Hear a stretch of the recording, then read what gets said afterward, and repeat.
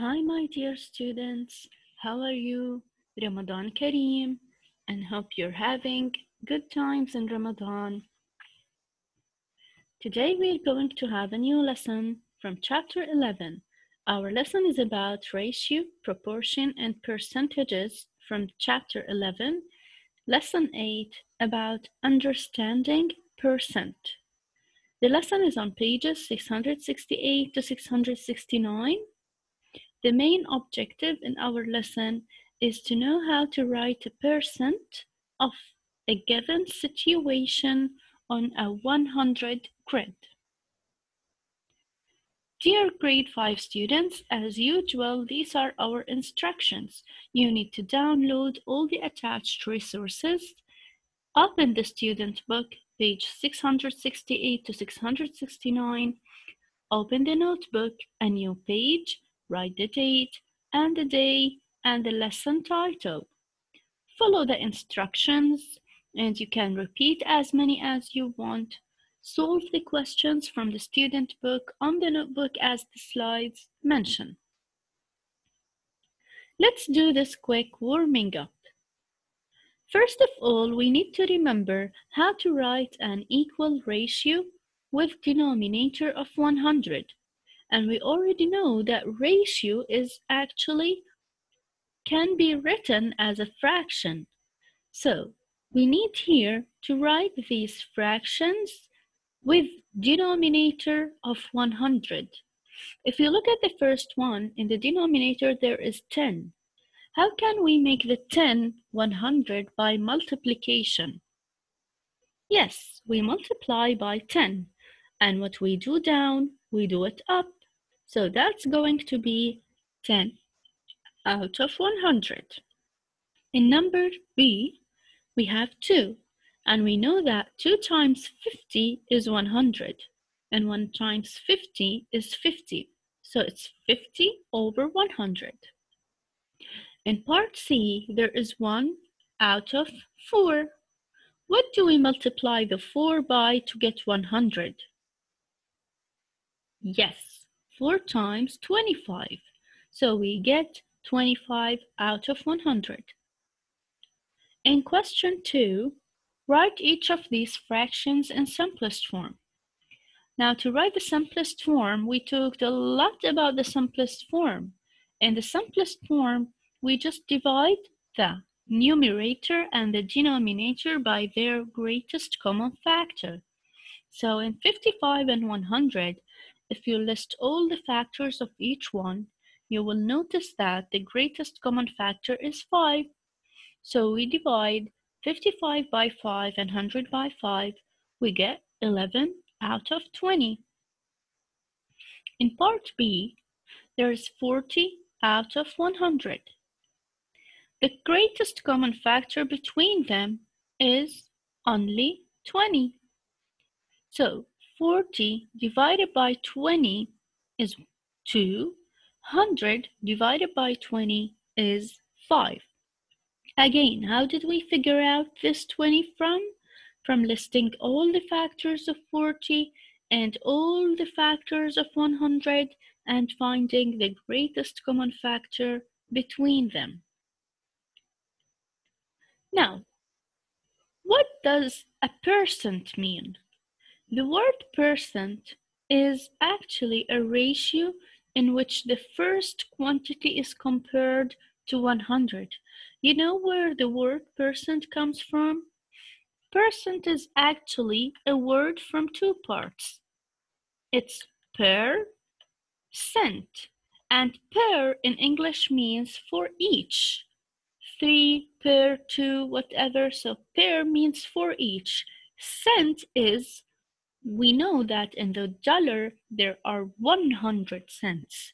So per cent means for each 100.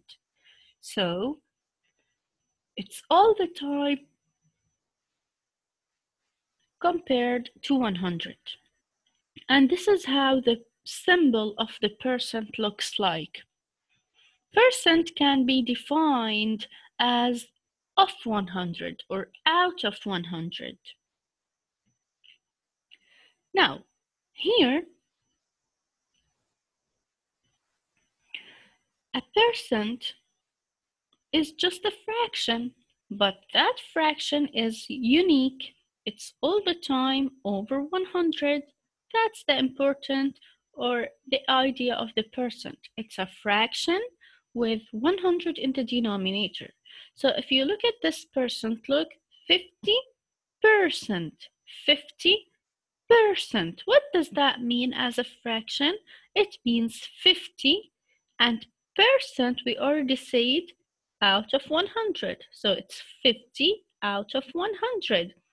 So we can write the percentage as a fraction over 100. Can we choose another number in the denominator? Of course not. It's all the time over 100. But when you write your fraction, you can simplify it more.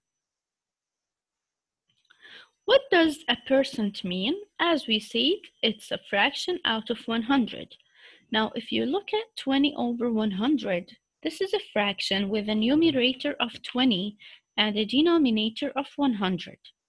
If we want to simplify this fraction, we divide the numerator and the denominator by the common factor. And we know the simplest or the common factor, the greatest one is 20 because the factors of 20 are 1, 2, 10, 4, 5, 20, and there is 20 as a factor of 100. So we divide 20 by 20, which is 1, 100 by 20, which is 5. So that's the simplest form. The percentage also can be written as a ratio. We can write 20 over 100 as 20 to 100. And when we simplify it, we get 1 to 5 or 1 over 5, which is the simplest form again. This, there is where we can see percentages. We can see the percentages and the discounts on sale, when there is a sale of 50% or 10%, or all goods list 50%.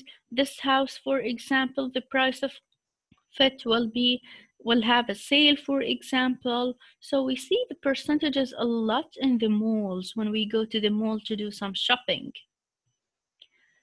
Now, we're going now to practice on writing fractions in simplest form and representing shading parts of each grid. Now look at this grid. 50% of this grid, which has 10 by 10, so see we have 10 squares and 10 squares, so 10 by 10, 100 squares in all.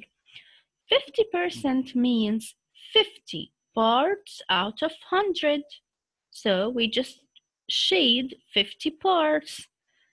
As a fraction, we can write that 50 over 100. How do we simplify that? You divide them by the common factor. So divide by 50 and we divide by 50 so you get the lowest term. So this is how we write the fraction. You divide this by 50 and you divide this by 50. So 50 divided by 50 is 1 and 100 divided by 50 is 2. So this is the lowest term or the simplest form of this fraction. So if you notice the 50%, we can write it as 1 over 2 by doing the simplest form of 50 out of 100. If you look at this new grid one, 10% means 10 parts out of 100. So you just take, look, 10 parts out of 100. So 10 over 100. How do you think we can simplify this? We need to divide. What do you think we should divide by to get the simplest form?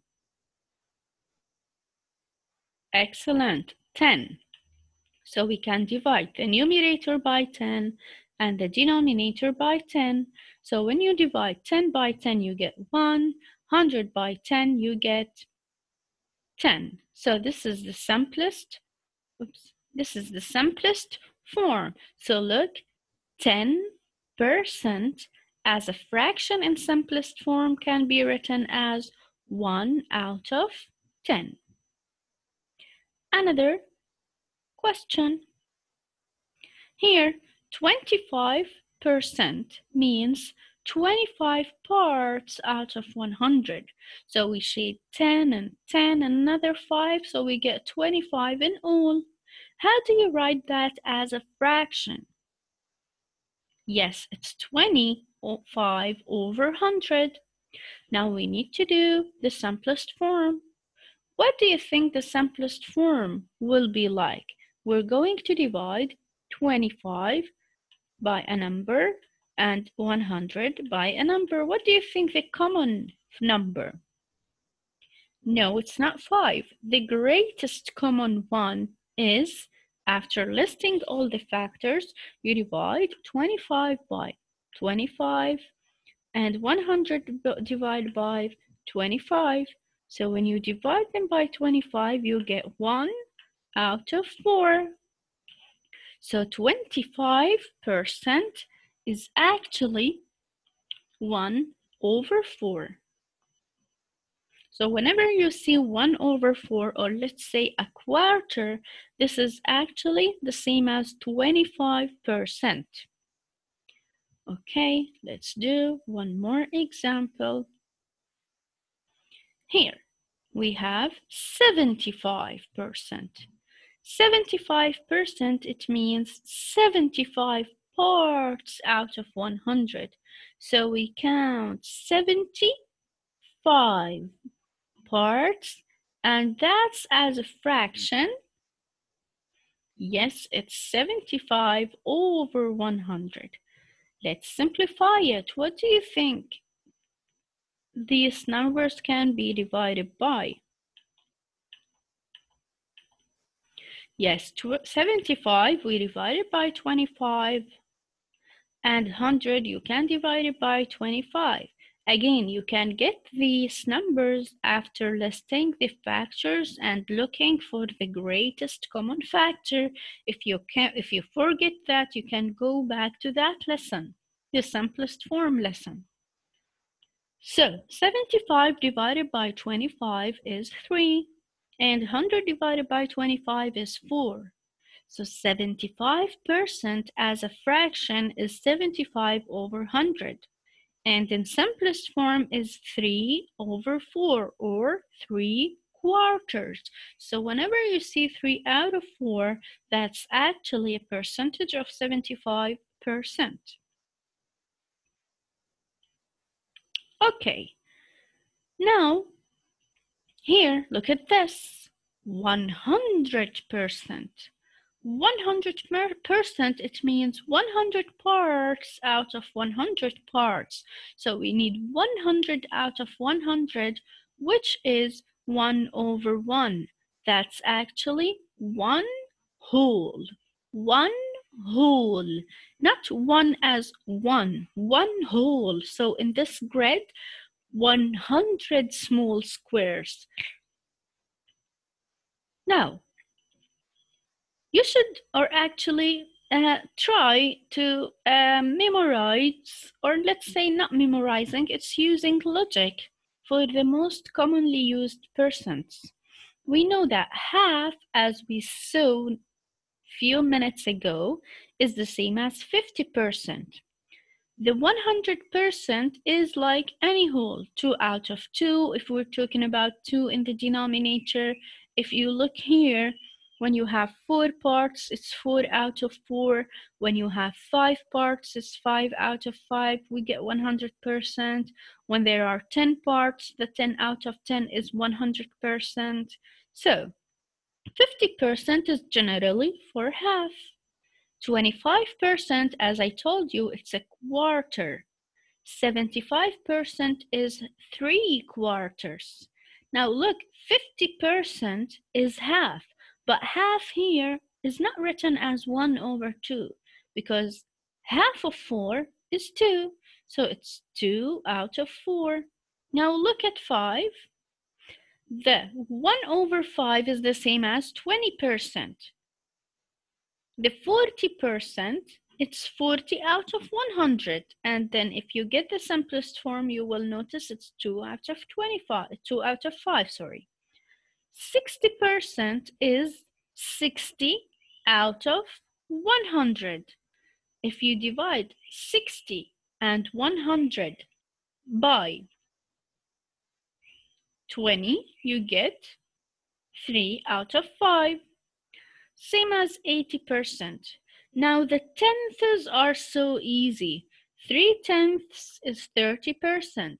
4 tenths is 40%. 5 out of 10 is 50%. 6 out of 10, 60%. 7 out of 10, 70%. And same as 80 and 90%. So these percentages are very used. They are commonly used percentages. So it's very important to know how to get them or use logic to memorize them.